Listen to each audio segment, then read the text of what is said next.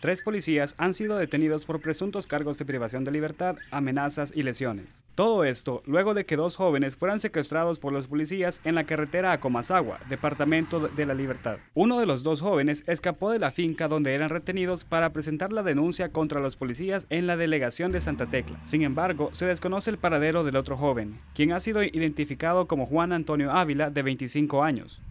Según información oficial de la policía, los jóvenes se encontraban en un taller de motos en el cantón El Manzano, en Santa Tecla. Fueron soldados quienes entregaron a los jóvenes a los agentes policiales. Con imágenes y reportes de Jonathan Funes, informó para la prensa gráfica Víctor Sea.